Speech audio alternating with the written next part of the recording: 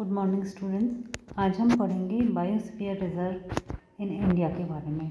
हम लोग बहुत टाइम से पढ़ रहे हैं बायोडाइवर्सिटी के बारे में। सबसे पहले हमने पढ़ा बायोडाइवर्सिटी क्या होता है। फिर हमने देखा बायोडाइवर्सिटी को थ्रेट्स क्या है। फिर हमने देखा रेयर स्पीसीज़ क्या होती हैं एक्सटिंक्ट स्पीसीज़ क्या होती हैं। अब हम पढ़ने जा रहे हैं conservation of biodiversity conservation of biodiversity दो तरह का होता है इन सीटू कंजर्वेशन और ex situ conservation in situ में तो प्लांट और एनिमल्स को उन जहाँ, उनके ग्रोइंग रीजन में ही कंजर्व किया जाता है। जबकि एक्स सीटू में जीन बैंक एट्सट्रा में प्लांट्स को या उनके रिसोर्सेज को बाहर ले जाके कंजर्व किया जाता है। अब आज के लेक्चर में हम जानेंगे इन सीटू कंजर्वेशन के बारे में। इन सीटू कंजर्वेशन में मुख्यतः आता है wildlife sanctuaries national park और बायोस्फीयर रिज़र्व ये सभी बायोडाइवर्सिटी को कंजर्वेशन करने के आर्टिफिशियल मेथड्स हैं, जहाँ प्लांट्स को उनके नेचुरल हैबिटाट्स में, प्लांट्स, एनिमल्स और सारी बायोडाइवर्सिटी को उनके नेचुरल हैबिटाट्स में ही कंजर्व किया जाता है। तो सबसे पहले हम देखेंगे, हम किसी भी चीज़ के बारे में पढ़ना जाते हैं तो हम को जानना होता है कि वो है क्या। तो हम बायोस्फीयर रिज़र्व के बारे में पढ़ते हैं कि वो होते क्या हैं। बायो बायोस्फीयर रिज़र्व जो नाम दिया गया है, ये इंटरनेशनल डेजिग्नेशन है, जो कि United Nations Education Scientific and Cultural Organization UNESCO के द्वारा दिया गया है। ये एक यूएनओ का ऑर्गेनाइजेशन है, जो कि पूरे विश्व में एजुकेशनल साइंटिफिक और कल्चरल हितों को संरक्षण का प्रयास करता है। इसके अंतर्गत नेचुरल कल्चरल लैंडस्केप जो अपने आप में यूनिक हैं और वहाँ की फ्लोरा और खाना वहाँ प्रचुर मात्रा में पाई जाती है और वो बहुत अधिक एरिया में पाए जाते हैं। भले ही वो टेरेस्ट्रियल हो या मेराइन हो या कोस्टल हो या दोनों के कॉम्बिनेशन हो, उन एरिया को कंजर्व किया जाता है। मतलब बायोस्फीयर रिज़र्व में ऐसे नेचुरल और कल्चरल लैंडस्केप्स को कवर किया जाता है जो कि स्थलीय या जलीय या दोनों का बहुत बड़ा एरिया कवर करते हैं, जहाँ की बहुत सारी स्पीसीज़ ओरिजिनली ग्रो करती हूँ। फिर बायोस्फीयर रिज़र्व क्या करता है? जैसा कि हम सुनते हैं सस्टेनेबल डेवलपमेंट सस्टेनेबल डेवलपमेंट का मतलब क्या होता है? इकोनॉमिक ग्रोथ भी रहे सोशल डेवलपमेंट भी रहे और एनवायरमेंटल का कंजर्वेशन भी हो. तो बायोस्फीयर रिज़र्व इकोनॉमिक और सोशल डेवलपमेंट में और उसके साथ ही साथ उसके साथ जो कल्चरल वैल्यूज़ जुड़ी हुई हैं, साथ ही साथ जो नेचर है, उन सब में बैलेंस बनाए रखने का काम करता है। जैसा कि मैंने अभी बताया सस्टेनेबल डेवलपमेंट का काम करता है। नेचर भी कंजर्व रहे नेचुरल वैल्यू भी कंजर्व रहे और इकोनॉमिक और सोशल डेवलपमेंट भी हो। तो इस तरह से बायोस्फीयर रिज़र्व हैं। स्पेशल एनवायरनमेंट पीपुल और नेचर के लिए देते हैं। और वो लिविंग एग्जांपल्स हैं। इस बात के कि किस तरह से ह्यूमंस और नेचर एक साथ रह सकते हैं, एक दूसरे की नीड्स को पूरा कर सकते हैं और एक दूसरे को बिना नुकसान पहुँचाए रह सकते हैं। बायोस्फीयर रिज़र्व नाम दिया गया यूनेस्को के द्वारा। ये वो कल्चरल और नेचुरल लैंडस्केप्स हैं, वहाँ जहाँ बहुत ज़्यादा मात्रा में स्पीसीज पाई जाती हैं टेरेस्ट्रियल या एक्वेटिक इकोसिस्टम है। यहाँ पे सोशल और इकोनॉमिक डेवलपमेंट और एनवायरमेंटल कंजर्वेशन साथ साथ हो सके, इस तरह के प्रयास किए जाते हैं। फिर बायोस्फीयर रिज़र्व के डेजिग्नेशन का क्राइटेरिया क्या है? मत, इसका क्राइटेरिया या जो बेसिक होते हैं, वो क्या क्या हैं? वो ये हैं कि जो साइट होती है वहाँ पे एक कोर एरिया होता है जो कि प्रोटेक्टेड होता है, होना चाहिए और जहाँ पे कम से कम डिस्टरबेंस हो सक होना चाहिए नेचर कंजर्वेशन के हिसाब से। जो कोर एरिया होता है वो बायो जियोग्राफिकल यूनिट होनी चाहिए और इतना बड़ा होना चाहिए कि वो एक बहुत बड़ी पॉपुलेशन को सस्टेन कर सके। उस पॉपुलेशन के सभी ट्रॉपिक लेवल्स को। हमने इकोसिस्टम पिरामिड्स देखे थे, उसमें अलग अलग ट्रॉपिक लेवल होते हैं। उसमें प्राइमरी प्रोड्यूसर्स होते हैं कंज्यूमर्स होते हैं हर्बीवोर्स होते हैं कार्निवोर्स होते हैं। तो बायोस्फीयर रिज़र्व का जो कोर एरिया होता है, वो ऐसी बायो जियोग्राफिकल यूनिट होती है, जिसमें सभी ट्रॉपिक एनिमल लेवल्स की वेजिटेशन और एनिमल्स रहते हैं और उनको कंजर्व किया जा सकता है। इसमें एक और ज़रूरी बात होती है कि बायोडाइवर्सिटी कंजर्वेशन में लोकल कम्युनिटीज़ का भी इन्वॉल्वमेंट होता है। इसके अलावा जो बायोस्फीयर रिज़र्व का जो एम होता है, वो ट्रेडिशनल ट्राइबल और रूरल मोड्स ऑफ़ लिविंग का भी कंजर्वेशन होता है कि वो और प्लांट्स और एनिमल्स या एनवायरनमेंट के बीच में हारमोनी हो, दोनों की समान रूप से रक्षा हो सके। तो क्राइटेरिया क्या क्या हुआ है क्राइटेरिया में मुख्यतः बायोस्फीयर रिज़र्व का केंद्र स्थानीय कोर एरिया आता है। जो कि प्रोटेक्टेड और मिनिमल डिस्टर्ब एरिया होना चाहिए। दूसरा, ये एक ऐसी बायोजियोग्राफिकल यूनिट होती है जिसमें सभी ट्रॉपिक एनिमल्स के प्लांट्स और एनिमल्स को कंजर्व किया जाता है। इसके अलावा इसमें लोकल कम्युनिटीज़ को इन्वॉल्व किया जाता है। इसके अलावा, वहाँ पे जो ट्राइबल्स और रूरल लोग रह रहे होते हैं, उनका जो एनवायरनमेंट से रिलेशन होता है, हम सब जानते हैं कि ट्राइबल और रूरल लोग होते हैं जो मुख्यतः फॉरेस्ट के ऊपर ही निर्भर होते हैं। तो इस तरह से इनको कंजर्व किया जाता है कि एनवायरनमेंट का कंजर्वेशन भी हो सके और उनके हितों की भी अनदेखी ना हो। अब हम देखेंगे स्ट्रक्चर क्या होगा बायोस्फीयर रिज़र्व का। पहले हमने जाना बायो रिज़र्व बायोस्फीयर रिज़र्व क्या है, उसको बनाने के एम्स क्या हैं, फिर उनका स्ट्रक्चर क्या है। सबसे पहले और जो सबसे केंद्र और सबका इंपॉर्टेंट एरिया होता है, वो होता है कोर एरिया ये बायोस्फीयर रिज़र्व का सबसे ज़्यादा प्रोटेक्टेड एरिया होता है। इसमें अनेक एंडेमिक प्लांट्स और एनिमल्स पाए जाते हैं। ये जो प्लांट्स होते हैं इकोनॉमिक स्पीसीज़ के वाइल्ड रिलेटिव्स को कंजर्व करते हैं। साथ ही साथ वो उनके जेनेटिक रिजर्वायर को भी कंजर्व करते हैं। ये जो कोर जोन होता है, ये प्रोटेक्टेड एरिया होता है, जो कि नेशनल पार्क या सेंचुरी या प्रोटेक्टेड एरिया की तरह से ही इनको भी वाइल्ड लाइफ प्रोटेक्शन एक्ट 1972 का प्रोटेक्शन प्राप्त है। और इसको ह्यूमन इंटरफेरेंस से पूरी तरह से मुक्त रखा गया। मतलब यहाँ पे कोई भी ह्यूमन एंटर नहीं हो सकता। तो ये सबसे ज़्यादा प्रोटेक्टेड एरिया है बायो बायोस्फीयर रिज़र्व इसमें एंडमिक प्लांट और एनिमल्स पाए जाते हैं। ये इकोनॉमिक स्पीसीज़ के वाइल्ड रिलेटिव्स को कंजर्व करता है और साथ ही साथ जेनेटिक रिजर्वायर को भी कंट्रोल करता है। इसके साथ ही साथ इसमें जो कोर जोन होता है वो प्रोटेक्टेड होता है। और इसको वाइल्ड लाइफ प्रोटेक्शन एक्ट का प्रोटेक्शन प्राप्त है।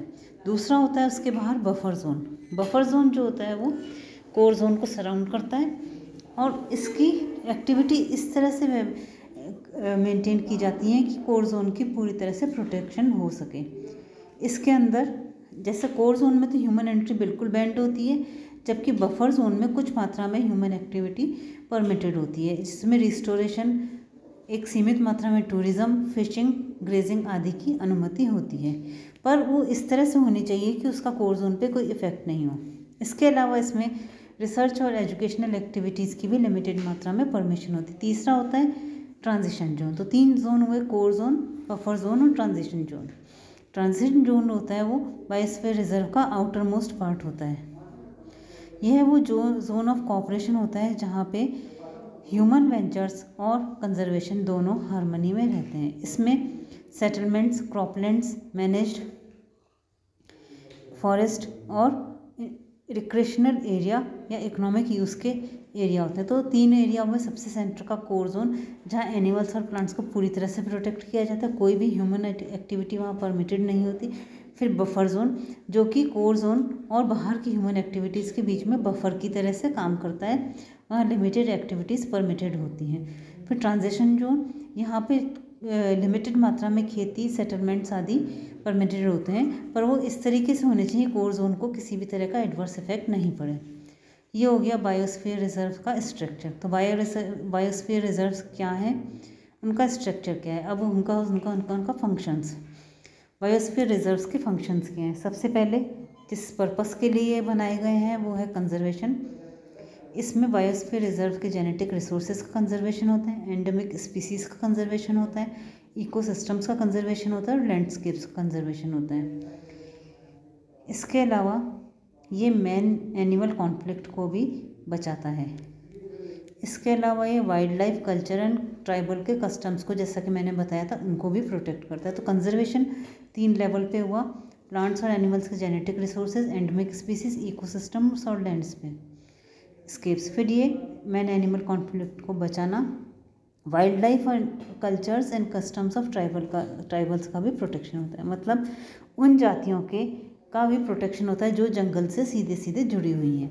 फिर दूसरा हो गया डेवलपमेंट डेवलपमेंट में इसमें इकोनॉमिक और ह्यूमन ग्रोथ दोनों को प्रोटेक्शन करते हैं सस्टेनेबल लेवल पे या सोशियो कल्चरल इकोलॉजी लेवल पे। इसका मेन पर्पस होता है कि सस्टेनेबल डेवलपमेंट के तीनों पिलर्स को मज़बूत बनाना, जो कि है सोशल जो कि है इकोनॉमिक और प्रोटेक्शन ऑफ़ एनवायरनमेंट मतलब बायोस्फीयर रिज़र्व जो होते हैं वो सस्टेनेबल डेवलपमेंट का एक सीधा सीधा रिप्रेजेंटेटिव यूनिट्स होती हैं, जहाँ सोशल यानी वहाँ रहने वाले ट्राइबल्स और उनका प्रोटेक्शन होता है इकोनॉमिक मतलब डेवलपमेंट भी थोड़ी मात्रा में परमिटेड होता है प्रोटेक्शन ऑफ़ एनवायरनमेंट एनवायरनमेंट का प्रोटेक्शन तो होता ही है।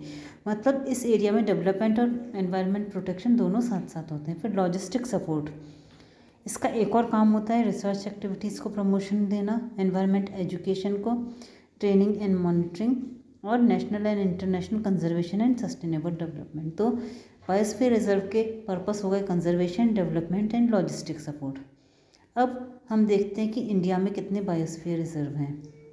इंडिया में टोटल 18 बायोस्फीयर रिज़र्व हैं। हिमाचल प्रदेश में कोल डेजर्ट उत्तराखंड में नंदा देवी, सिक्किम में कंचनजंगा, अरुणाचल प्रदेश में देवांग देवांग, असम में मनास, फिर असम में ही है डिब्रू सेकवा, मेघालय में है नौक्रैक मध्य प्रदेश में है पन्ना, मध्य प्रदेश में ही है फिर पचमढ़ी, फिर मध्य प्रदेश छत्तीसगढ़ में है अचन कमार अमरकंटक फिर गुजरात में है कच्छ, जिसका कि लार्जेस्ट एरिया है इंडिया में उड़ीसा में है शिमलीपाल वेस्ट बंगाल में सुंदरबन आंध्र प्रदेश में शेषाचलम कर्नाटक तमिलनाडु केरला में अगस्त्यमाला तमिलनाडु और केरल में है नीलगिरी जो कि सबसे पहला बायोस्फीयर रिज़र्व बना था तमिलनाडु में गल्फ ऑफ़ मन्नार और great Nicobar Andaman and Nicobar islands ये हुए कितने हैं? फिर international status of biosphere reserve UNESCO ने सबसे पहले डिजिग्नेशन बायोस्फीयर रिज़र्व दिया उन नेचुरल एरिया के लिए जहाँ डेवलपमेंट और कंजर्वेशन में कॉन्फ्लिक्ट कम करने के लिए बायोस्फीयर रिज़र्व जो होते हैं वो नेशनल गवर्नमेंट के द्वारा नॉमिनेटेड होते हैं, जिसके कि बहुत मिनिमम सेट ऑफ़ क्राइटेरिया होते हैं मतलब वो सब कंडीशंस ज़रूरी हैं बायोस्फीयर रिज़र्व के लिए बनाने के लिए। बायोस्फीयर रिज़र्व की स्थापना की गई है यूनेस्को के मैन एंड बायोस्फीयर प्रोग्राम के अंतर्गत। पूरे विश्व में टोटल 686 बायोस्फीयर रिज़र्व है जो कि one two twenty two countries में है। इनमें से 20 जो हैं वो ट्रांस बाउंड्री में है मतलब दो कंट्री में मिला के हैं। फिर मैन एंड बायोस्फीयर प्रोग्राम क्या है, हम थोड़ा सा ये जान लें। ये 1971 में हुआ था। यूनेस्को का मैन एंड बायोस्फीयर यह एक इंटर गवर्नमेंटल साइंटिफिक प्रोग्राम है जो कि पीपल और एनवायरनमेंट के बीच में रिलेशनशिप के लिए साइंटिफिक बेसिस देता है।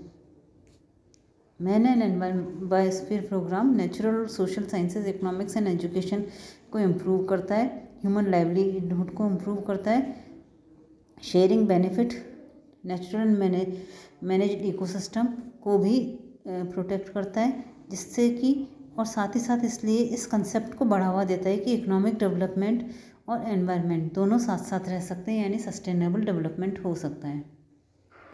अच्छा इंडिया में ऐसे इलेवन बायोस्फीयर रिज़र्व हैं जिनका कि रिकॉग्निशन इंटरनेशनली हुआ है मैन एंड बायोस्फीयर प्रोग्राम में। ये नीलगिरी गल्फ ऑफ़ मन्नार सुंदरवन नंदा देवी नौकरेक पचमढ़ी शिम्पलीपाल अच्छा अमरकंटक ग्रेट निकोबार अगस्त्यमाला और कंचनजंगा फिर आता है लास्ट में बायोस्फीयर कंजर्वेशन इंडिया में एक biosphere reserve programme government of India द्वारा 1986 में चलाया जा रहा है, जिसमें कि विभिन्न बायोस्फीयर्स को फाइनेंशियल असिस्टेंस दी जाती है। अब हम देखें कि आगे क्या तरीका हो सकता है। Land rights of tribals forest पे डिपेंड करते हैं, उनको फ़ायदा होता है। बहुत सारे रिसोर्सेज जैसे स्पाइसेस आदि बायोस्फीयर रिज़र्व से प्राप्त होती हैं। बायोस्फीयर रिज़र्व सस्टेनेबल डेवलपमेंट के रिप्रेजेंटेटिव एरिया होते हैं। इसलिए गवर्नमेंट को ये चाहिए कि उनको स्ट्रिक्ट स्टेप्स दे, लेने चाहिए बायोस्फीयर रिज़र्व के कंजर्वेशन और प्रोटेक्शन के लिए। तो ये हुआ बायोस्फीयर रिज़र्व नेक्स्ट क्लास में हम पढ़ेंगे नेशनल पार्क्स और सेंचुरी के बारे में। Thank you